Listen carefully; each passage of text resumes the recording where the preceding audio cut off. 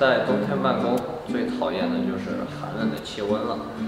很多时候，空调并不能满足我们对身体特定部位的加热需求。就比如我敲击键盘的双手，依旧是很冰冷。所以，我决定设计一个桌面暖风机来满足我小小的愿望。在设计的最开始，是我对这个产品设计理念的探寻，看了很多的设计，并且也和小组的两名同学也进行了讨论。最后寻找到了它的设计理念：温度的情感化表达。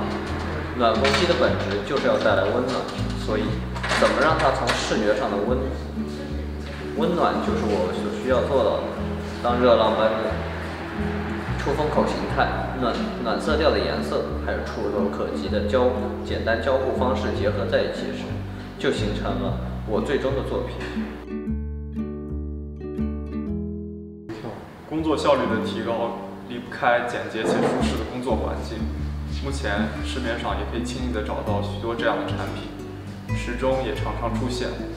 但我认为，时钟不应该只有样式上的创新，而应该尽可能服务于用户。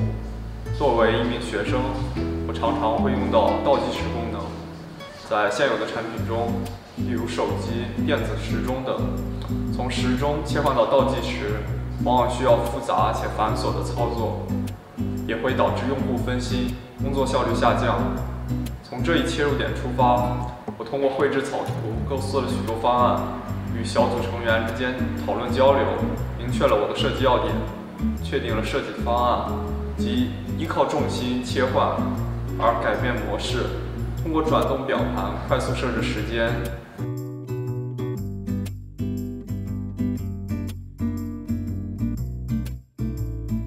音乐能舒缓人心情，让人放松。传统音响注重听觉上的体验，往往忽略了视觉上的体验。我希望能够将音乐可视化应用在音箱设计中，带给用户视觉上和听觉上的双重感受。振动产生声音，当振动传递到液体水时，能够产生不同的水波纹。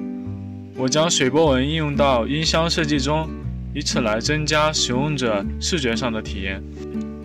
通过小组讨论，我确定了最终的方案：水波纹的操控面板，底部的氛围灯跟着音乐旋律流动，仿佛声音在流动，给人特别的观感。